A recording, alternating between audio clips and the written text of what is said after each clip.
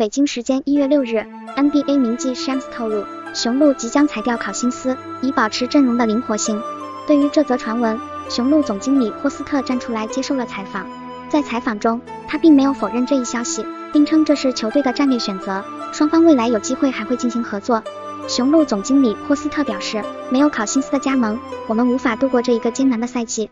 他对我们很好，而我们也希望能够帮助到他。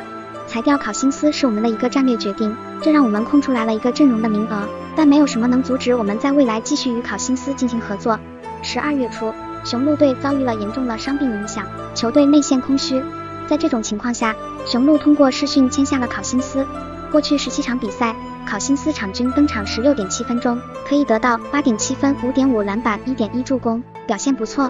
而在今天与猛龙的比赛中，考辛斯替补出场，打了十九分四十六秒，八投五中，砍下十五分十篮板三抢断一盖帽的全面数据。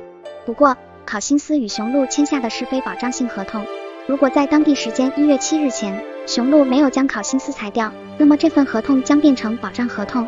最终，雄鹿赶在合同截止日前选择裁掉了考辛斯。客观来讲，考辛斯在雄鹿队打得不错，他还是一个不错的内线轮换球员。对于联盟中的很多球队都具有吸引力，比如说东部的篮网、热火，西部的掘金、湖人等球队。再加上现在联盟疫情严重，各队都有球员缺阵的情况。考虑到种种原因，考辛斯想要留在 NBA 并不算难。